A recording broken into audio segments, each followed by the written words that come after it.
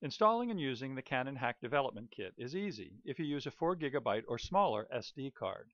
Look for other instructions if you want to use a larger card.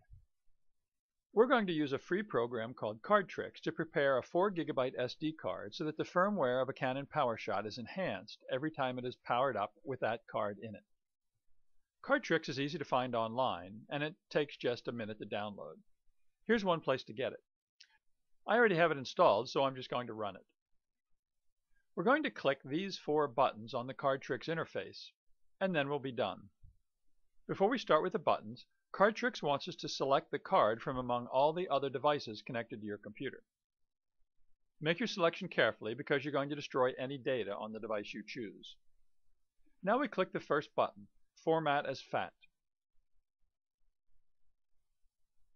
CardTricks reminds you that this is serious and tells you about cluster size. The formatting takes about four or five minutes.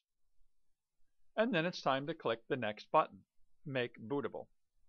This just copies one file to the boot sector of the card, and it takes just a second.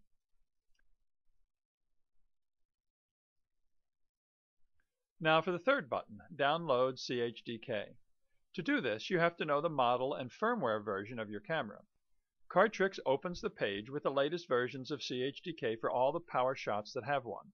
The left column is the camera model, in the middle is the full version of CHDK, and on the right is the stripped down version.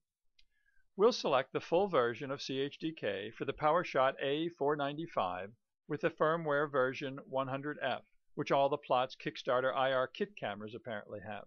And then return to Card Tricks and click the last button, CHDK to card. This takes you to the download directory where you can select the zip file you just downloaded. No need to extract it, just click Open, and CardTricks will extract it right to the SD card, which takes about 20 seconds.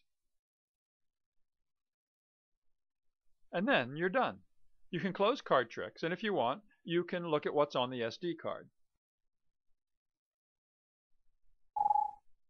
There's some files on the root directory and one directory with several subdirectories.